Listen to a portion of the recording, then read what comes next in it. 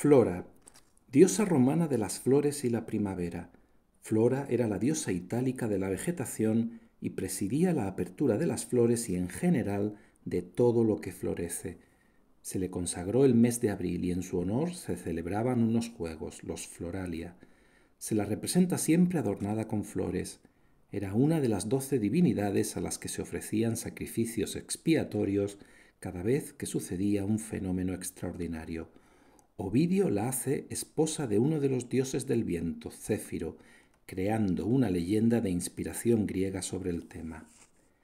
La flora es el conjunto de plantas de un país o región.